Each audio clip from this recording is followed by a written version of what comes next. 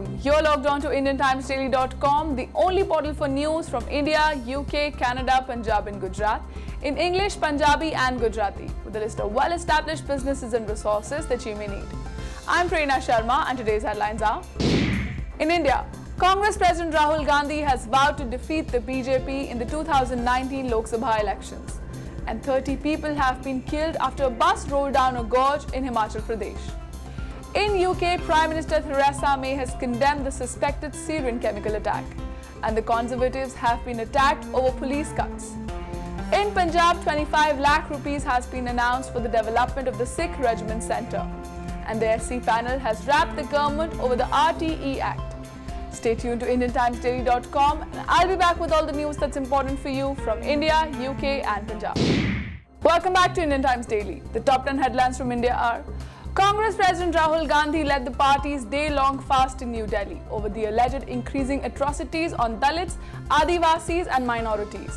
He dubbed the BJP as anti-Dalits, vowing to defeat it in the 2019 Lok Sabha elections.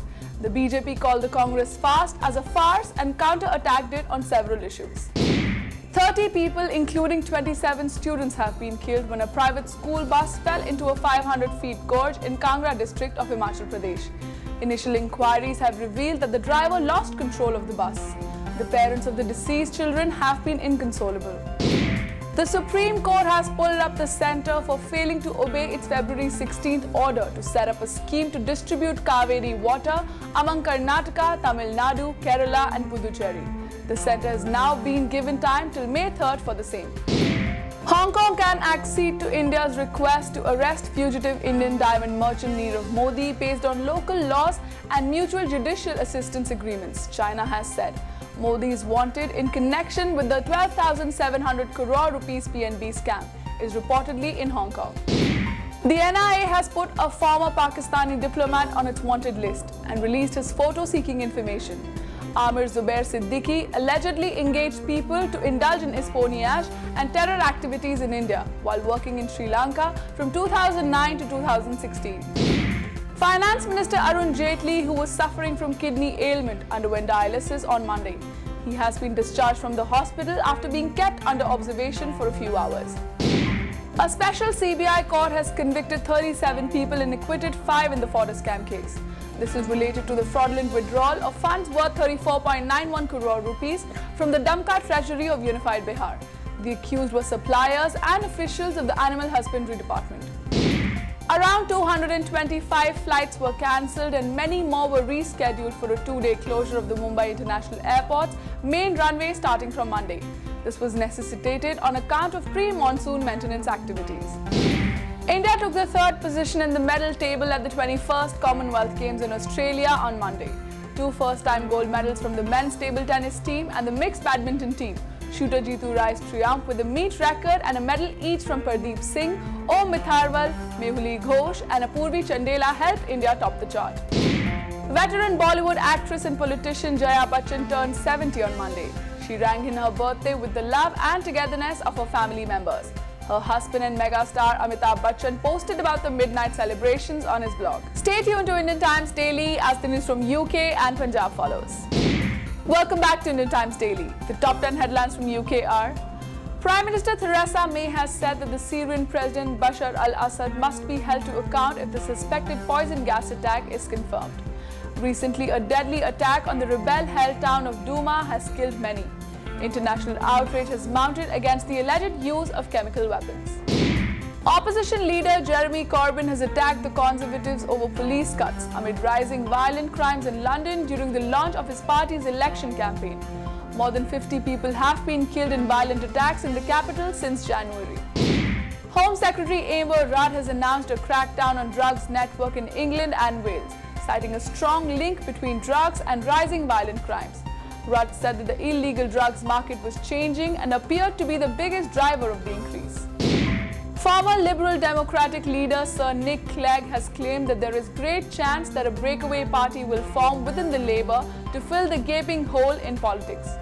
Recently, a renowned British newspaper had claimed that a new centrist party is being backed by 50 million pounds of private cash. Northern Ireland's three loyalist paramilitary organizations have pledged full support for the rule of law and suggested that any member involved in crime will be expelled. It is the first joint statement by the three organizations since the loyalist ceasefire in 1994.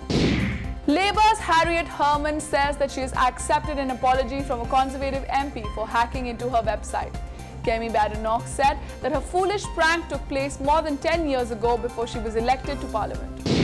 The number of Britons granted citizenship in another European Union country has doubled in year 2016 since the Brexit referendum. Germany has granted the most number of citizenship to UK nationals, with more than 2,700 citizens moving out. Foreign Secretary Boris Johnson has called for a strong international response to the alleged poison gas attack on a rebel-held town in Syria. While speaking with his French counterpart, Boris underlined the urgent need to investigate the attack. A man threatening with a gun in the Collier Row area. A man threatening with a gun in the Collier Row area of Romford has been shot dead by the police. The man is believed to be in his 40s. The shooting has been reported to the Independent Office of Police Conduct as well as to the Met's Directorate of Professional Standards. Prince Harry and Meghan Markle have asked people to donate to charities instead of sending wedding gifts. The royal couple has chosen seven charities so the benefits can reach to as many people. During the wedding of Prince William and Kate Middleton in 2011, more than 1 million pounds were raised for charities. I'll be back. Stay logged on to IndianTimesDaily.com as the news from Punjab follows. Welcome back to Indian Times Daily. The top 10 headlines from Punjab are Chief Minister Amrinder Singh has announced a special grant of 25 lakh rupees for the development and upgrade of the Sikh Regiment Centre at Chandi Mandir. He has also reiterated his commitment for the welfare of the soldiers. The National Commission for Scheduled Castes has slammed the government for not implementing the provisions of the Right to Education Act in Punjab. The panel has also asked the state to emulate Chandigarh and Haryana in this regard. Senior state Congress leaders Lal Singh and Rajinder Kaur Bhattal are reportedly vying for the party ticket for the Shahkot by-elections. Both the leaders are attempting to return to the active politics. The SAD has already named Naib Singh Kohar as its candidate for the seat. An inquiry into the missing paddy from the premises of a rice mill in Amritsar has pegged the total loss of 33.60 crore rupees. A total 420 wagons of paddy were missing from the mill. A vigilance probe has detected at least six cases of irregular appointments during the 10-year rule of SAD-BJP alliance in the Technical Educational Department. The probe pertained to recruitment made on the basis of forged documents and without proper verification of eligibility documents. The CBSE board is yet to announce new dates for the Class 10 and Class 12 examination that were postponed in Punjab in view of the Bharat Bandh on April 2nd.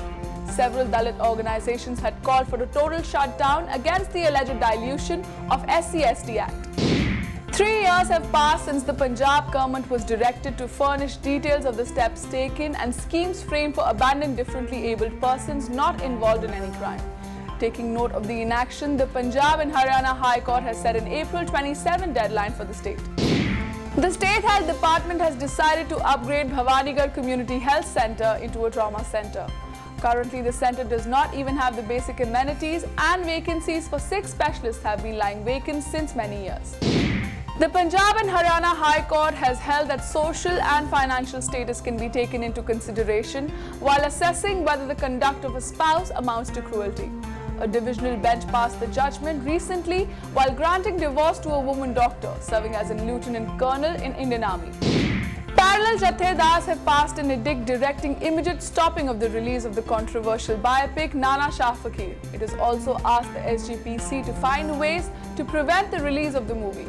They claim the movie brazenly violates the religious philosophy and Sikh code of conduct. This is the end of the news bulletin, but stay tuned to IndianTimesDaily.com as news from Bollywood is coming up next. And do visit the resources section on this portal to find the best Indo-UK businesses and resources, from accounting firms to wedding planners in your city. All of us at Indian Times Daily wish that you have a great day.